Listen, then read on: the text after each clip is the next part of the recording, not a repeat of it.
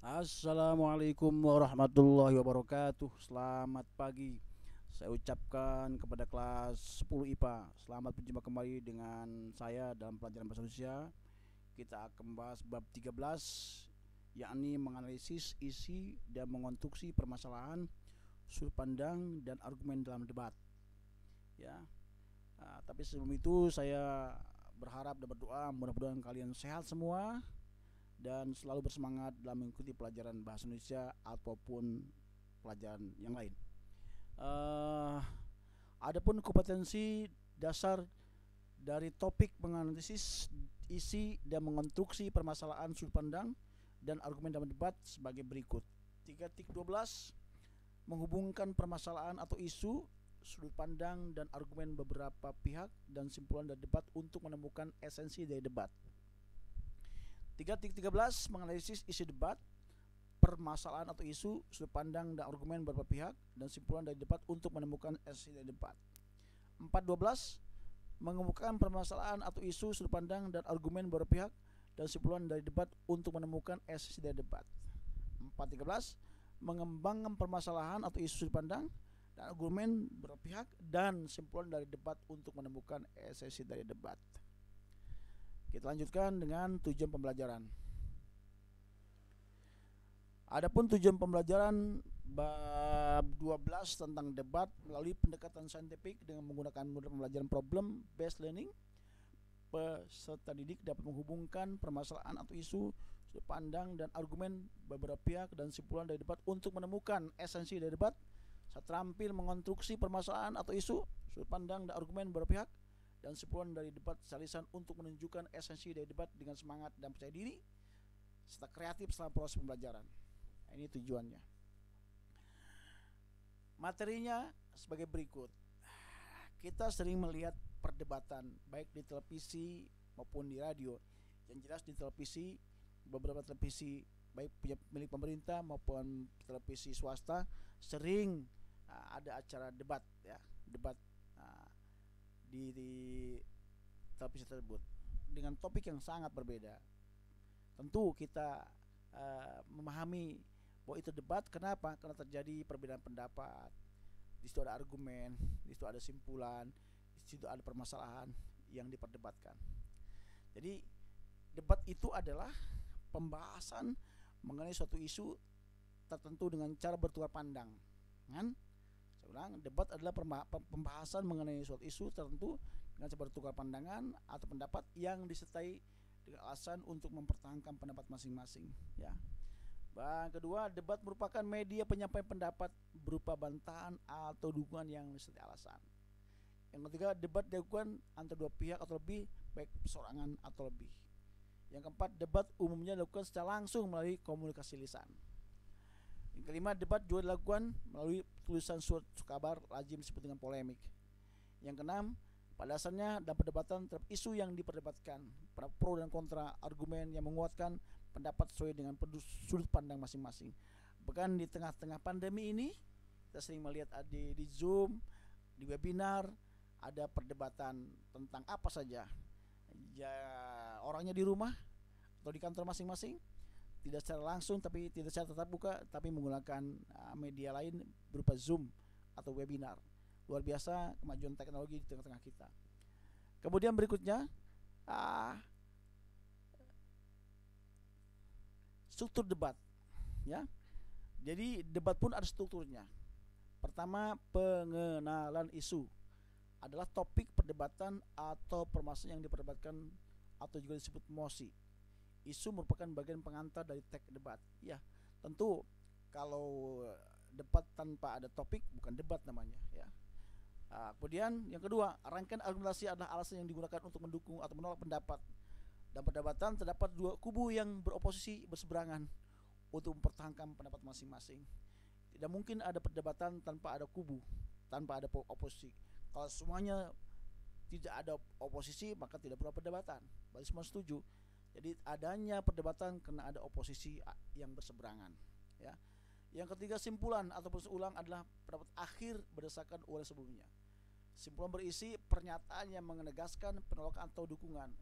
Jadi dalam debat dua kemungkinan menolak atau mendukung. Kesimpulan merupakan bagian akhir dari teks debat. Ya itulah struktur debat ya. Nanti akan saya kirimkan kepada kalian. Uh, saya sudah uh, download uh, dari internet tentang contoh debat dan, saya berharap kalian juga bisa melakukan download. Kalian tinggal tulis saja contoh debat uh, dari internet. Tulis saja debat contoh debat uh, dari internet atau mungkin dari televisi kalian silakan kalian download. Uh, nanti kalian bisa melihat bagaimana mereka serunya berdebat tentang suatu topik yang tengah terjadi di masyarakat kita. Kita lanjutkan. Hal yang perlu diperhatikan dalam menentukan masalah untuk debat. Satu, menarik peserta debat bermanfaat mengandung banyak perdebatan dan aktual. Jadi debat uh, dilakukan karena ada manfaatnya. Yang kedua, debat topiknya mengandung banyak perdebatan. Yang ketiga aktual, arti aktual adalah kekinian. Jadi misalnya perlukah eh, apa ya perlukah PJJ dihapuskan dan seluruh siswa di DKI Jakarta atau di Indonesia masuk ke sekolah masing-masing di tengah pandemi itu memerlukan perdebatan yang sangat panjang dan menarik ya. Yang kedua sesuai dengan pengetahuan peserta, peserta debat. Jadi jangan melakukan debat kalau kita tidak mengetahui apa pun. Boleh kita berdebat dengan siapa pun kalau kita menguasai topik tersebut. Jadi kalau kita berdebat perlu menguasai topiknya. Jangan coba-coba melakukan debat tanpa menguasai topiknya. Pasti kita kalah. Yang ketiga, memiliki kejelasan. Saya berikan contoh cara belajar efektif dalam menghadapi ujian masuk perguruan tinggi negeri. Ini jelas, tapi tidak jelas cara belajar yang efektif. Gimana caranya ini? Padahal tidak demikian. Yang kedua, kegagalan kelas dalam meraih lomba kebersihan tingkat sekolah jelas. Kegiatan kelas dalam menghadapi lomba ini tidak jelas. C. Pengaruh media sosial Facebook di kalangan pelajar. Terus teks tidak jelas pengaruh media Facebook. Nah, jadi kalau yang tadi yang tidak jelas cara belajar efektif bagaimana apa namanya itu indikatornya. Kegiatan kelas dalam menghadapi lomba bagaimana indikatornya terakhir pengaruh media Facebook bagaimana indikator. Tapi kalau yang jelas bisa kita perhatikan indikatornya untuk diperdebatkan. unsur dalam debat dan ciri kebahasan debat. Nah, pertama ada mosi. Mosi adalah pernyataan atau penentuan tentang suatu topik yang menjadi bahan debat. Mosi dapat disampaikan sebelum ataupun pada saat debat berlangsung. Dan menentukan mosi, pastikan mosi bersifat kontroversial, aktual, relevan, spesifik, dan bermanfaat. Yang kedua ada tim afirmasi. Pihak yang setuju dengan topik yang diperdebatkan, berarti tim yang pro. Yang kedua yang ketiga, tim oposisi, baik dari tim afirmasi. Tim ini adalah pihak yang setuju dengan topik yang diperdebatkan. Yang keempat, moderator berperan sebagai pemimpin, penengah, pengarah, pengatur jalannya debat. Dan moderator harus adil menengahi kedua pihak jika ada terjadi perdebatan yang terlalu melebar. Yang kelima, penonton atau juri. Penonton atau juri memiliki peran sebagai penentu pemenang tersebut. Jika sebagai penonton, kita sebagai penonton, maka kita harus juga berselalu adil dalam mendukung kedua belah pihak itu. Ketika ada pertandingan perlombaan, maka juri memiliki peran yang penting sebagai penentu pemenang debat. Karena itu, penonton atau juri harus memiliki wawasan yang sesuai dengan dan mampu bersikap adil, bukan kepentingan bukan berdasarkan keputusan pada pendapat sendiri. Jadi menggunakan ilmu ya pendekatan keilmuan kalau dalam sebuah pertandingan debat atau lomba debat tentu ini berdasarkan apa namanya uh, ketentuan yang berlaku disusun bersama-sama para panitianya. Yang keenam, penulis, penulis atau sekretaris perdebatan berlangsung. Penulis atau sekretaris harus mencatat hal-hal yang penting yang disampaikan oleh kedua pihak. Seperti apa kaidah kebahasaan teks debat? Yang pertama, menggunakan kalimat kompleks. Teks debat umumnya menggunakan kalimat dengan lebih dari satu struktur kata kerja kita bisa perhatikan ketika terjadi perdebatan di televisi mereka menggunakan kalimat yang panjang pendapatnya atau menyampaikan argumentasinya. Dua menggunakan konjungsi. Teks debat sering menggunakan konjungsi untuk menghubungkan kata-kata dan atau kalimat. Nah kalimat panjang itu maka dengan demikian oleh karena itu uh, uh, karena sebab dan sebagainya itu adalah menggunakan konjungsi-konjungsi di mana sering digunakan dalam uh, dalam dalam konteks debat.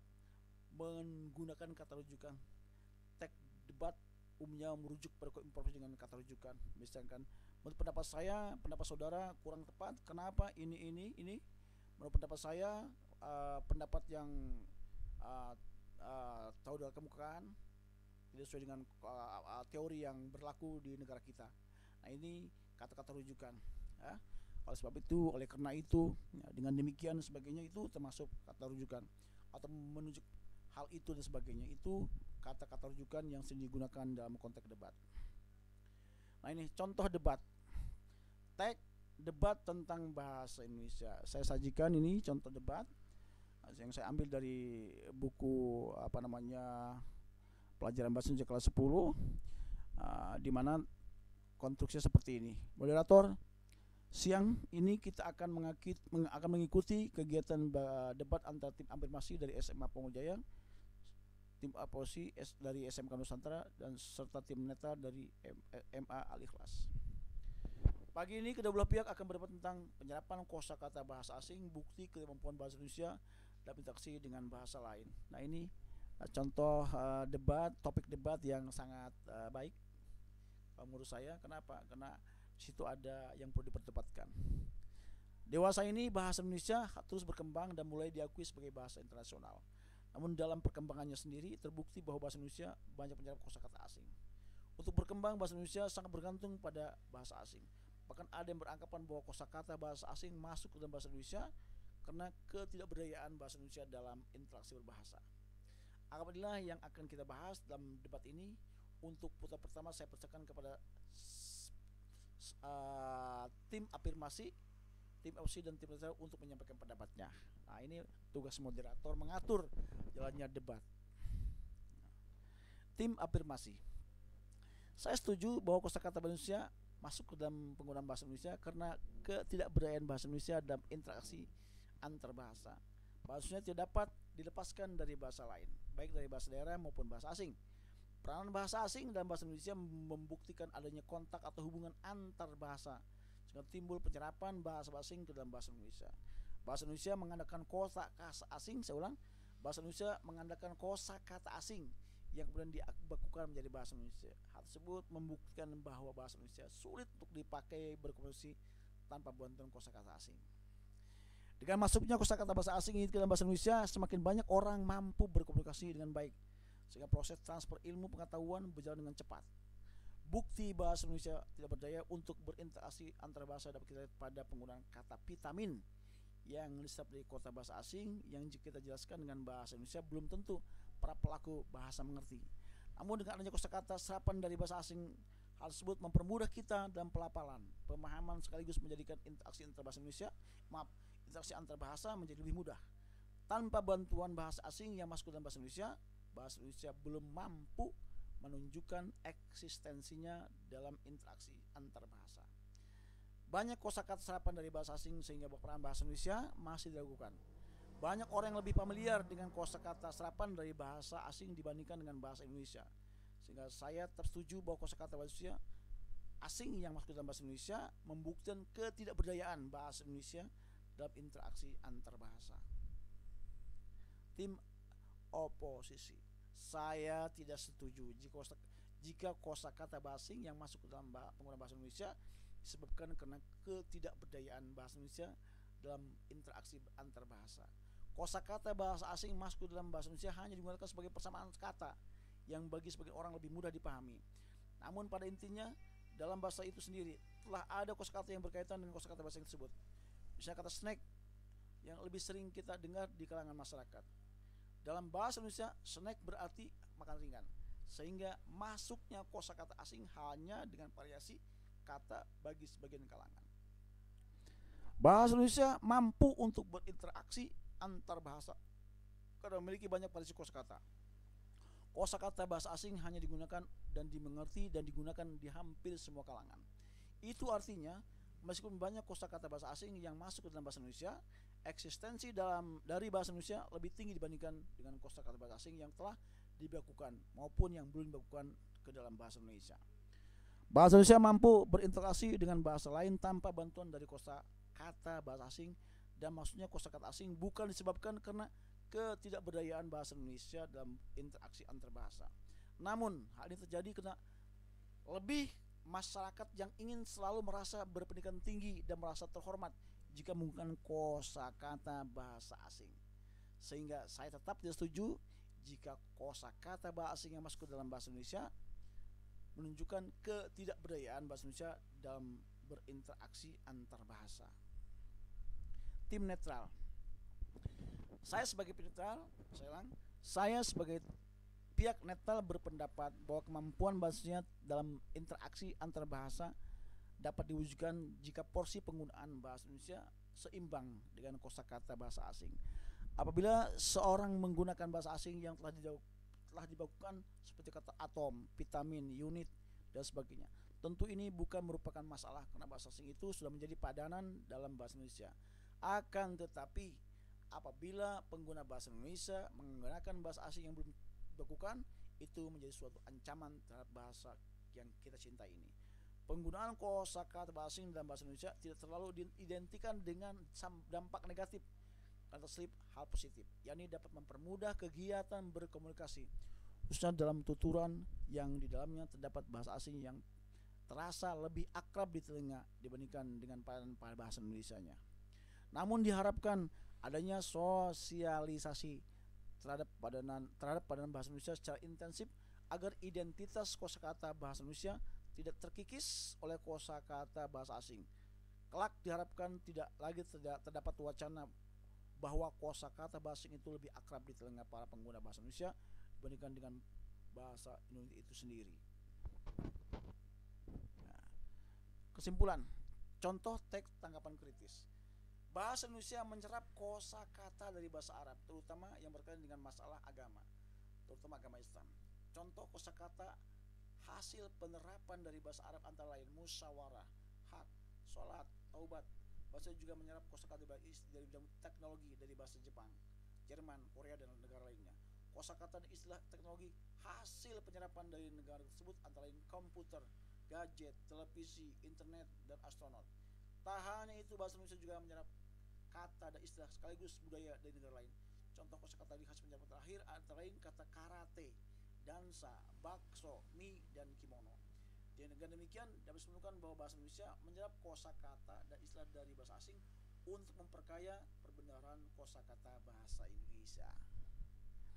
Nah, sekarang kalian sudah paham bagaimana uh, sebuah perdebatan antara tim afirmasi, tim afirmasi, tim oposisi bagaimana moderator melakukan tugasnya uh, dan sebagainya sebagainya bagaimana tim netral dan sebagainya kalian bisa memahami itulah uh, apa namanya uh, debat dilaksanakan dengan topik uh, bahasa Indonesia ya sekarang kita lanjut ke bagian B mengonstruksi permasalahan argumen dan simpulan. Beberapa hal yang perlu diperhatikan ketika menyampaikan pendapat dalam debat ya. Satu mengetahui kelemahan dan kelebihan argumen lawan. Nah ini dari mana kita mulainya? Tahu kelemahan dan kelebihan lawan. Tentu kita harus mempelajari mereka uh, kita harus memperkuat uh, apa ilmu kita. Kalau kita ambil kebah berdebat tentang, tentang kebah, ilmu kebahasaan maka berarti kita harus uh, menguasai tentang kebahasaan itu sendiri. Argumen disertai dengan alasan yang logis. Jangan sekali-kali berdebat tanpa menggunakan alasan yang masuk di akal. Pasti terkalahkan oleh lawan. Argumen disertai bukti atau fakta yang valid. Nah ini uh, bahwa sebuah perdebatan uh, akan sulit dikalahkan ketika seorang uh, uh, seorang yang berdebat me, apa, mengajukan bukti atau fakta yang valid, yang sah, yang kuat dan sebagainya. Argumen harus sesuai dengan isu yang diperdebatkan. Tentu kalau kita bicara harus dengan isunya yang diperdebatkan. Jangan sampai kita melebar ke mana-mana. Jadi perdebatan akan berhasil kalau kita fokus pada isu yang diperdebatkan. Yang kedua, beberapa hal yang perlu diperhatikan dalam debat bersikap kritis. Nah, dari masuk kritis itu tentu kita harus menelaah, mempelajari secara mendalam tentang topik itu dan kita mengkritisinya dengan menggunakan fakta uh, yang paling bukti-bukti yang real sehingga sulit dibantah oleh pihak lawan. Namun demikian tidak harus santun, tidak boleh menghina pribadi orang itu, tidak boleh merendahkan orang itu, tidak boleh menyerang pribadinya, jauhi sara tidak boleh dalam perdebatan yang kita perdebatkan adalah topiknya bukan orangnya Yang C menggunakan bahasa efektif dan tidak berbelit-belit. Sekali lagi, kalimat efektif dan tidak berbelit adalah penunjang yang sangat penting dalam sebuah perdebatan. Hindari sikap emosional, tidak boleh marah. Walaupun kawan atau atau lawan menantang kita dengan menggunakan bukti ataupun fakta yang jelas sehingga membuat kita uh, membuat kita marah, kita tidak boleh. Sikap emosional dibuang jauh-jauh ketika sedang uh, berdebat sehingga kita elegan, kita elegan, kita profesional memandang sebuah persoalan atau topik yang sedang diperdebatkan itu. Hargai lawan dengan sebaik-baiknya. Dalam sebuah perdebatan tidak boleh ada yang ada yang uh, tidak boleh tidak boleh tidak menghargai pendapat orang lain. Kita hargai pendapat orang lain. Kalau kita melawan pendapat orang lain, uh, tentu dilakukan dengan menggunakan uh, alasan yang logis, disertai bukti atau fakta yang valid, sehingga pendapat kita tidak terkalahkan atau tidak terbantahkan dan sebagainya. Itulah beberapa hal yang perlu diperhatikan ketika kita melakukan uh, perdebatan, mengonstruksi bagaimana masalah argumen dan kesimpulan dalam sebuah perdebatan. Ya, uh, uh, kelas 10 IPA yang saya hormati, itulah beberapa hal yang perlu saya sampaikan ketika kita melakukan perdebatan. Dan mudah-mudahan materi ini menjadi bekal kalian ketika kalian uh, akan mengikuti lomba debat kalian akan terjun di masyarakat atau di kampus atau di mana saja. Kalian akan melihat bagaimana perdebat ada konteks debat. Kalian lihat perhatikan sesuai strukturnya bagaimana pelaku bagaimana pelaku yang berdebat itu apakah emosional apakah berkritis apakah menghina merendahkan dan menjadi pribadinya apakah bahasanya efektif atau tidak efektif uh, kemudian saya menghargai dan sebagainya. Itu itu harus dicermati oleh kita semua. Kemudian apakah strukturnya bagaimana tugas uh, moderatornya bagaimana tim eposus tim uh, tim afirmasi tim eposi tim netral dan sebagainya bekerja dan dan menyampaikan uh, argumen-argumennya yang disertai fakta dan fakta yang valid. Sehingga debat itu menarik sesungguhnya dan kita bisa belajar di orang sebat debat. Dan kita pun bisa melakukan debat dengan cara yang elegan. Ini ada teori pragmatis ketika kita akan berdebat dengan orang. Demikianlah mudah-mudahan nanti kalian kita kalau ada waktu kita akan melakukan apa praktek berdebat di kelas masing-masing dan saya berharap mudah-mudahan corona cepat uh, uh, cepat uh, beranjak dari negara kita dan kita bisa masuk ke kelas kita di SMA 77 dan kita bisa belajar tatap muka dan kita bisa melaksanakan debat alangkah indahnya debat kalau debat itu disertai dengan alasan yang logis, fakta yang valid dan dikritisi dengan baik, santun, tidak menghina, tidak emosional, saling menghargai sesama uh, lawan debat kita dan sesuai dengan koridor fungsinya berjalan sebaik mungkin sebagai moderator, sebagai tim oposisi, sebagai tim afirmasi, sebagai tim netral dan sebagainya melahirkan orang-orang yang jago dapat debat. Demikianlah saya mohon maaf, mudah-mudahan uh, kita akan bisa bertemu dan bisa berdebat satu sama lain. Demikian, assalamualaikum warahmatullahi wabarakatuh.